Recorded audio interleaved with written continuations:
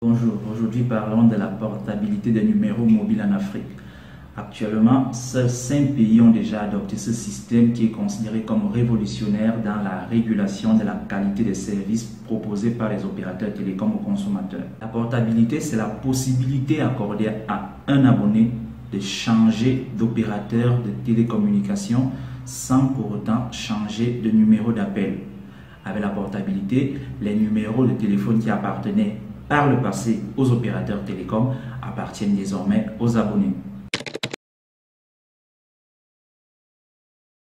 En Afrique, malgré les nombreuses mises en demeure et amendes servies, les autorités de régulation peinent encore à convaincre les opérateurs télécoms à étendre leur couverture réseau, à réduire leur coût de service ou encore à améliorer la qualité de la voix et de la data. En conférant aux abonnés le pouvoir de quitter un opérateur jugé insatisfaisant et d'influencer de ce fait ses revenus, la portabilité vient contraindre les opérateurs télécoms à accorder une plus grande attention à la qualité de service offerte aux consommateurs.